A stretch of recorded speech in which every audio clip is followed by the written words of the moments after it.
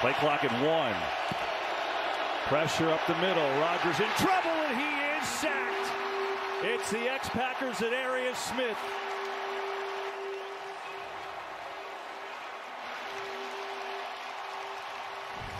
The protection just broke down. You're going to see Randall Cobb starting this slot. He gets a little traffic. He comes across wide open. Aaron Rodgers is trying to, to find him, but you're going to see Za'Darius Smith lines up over the right guard, Jake Hanson.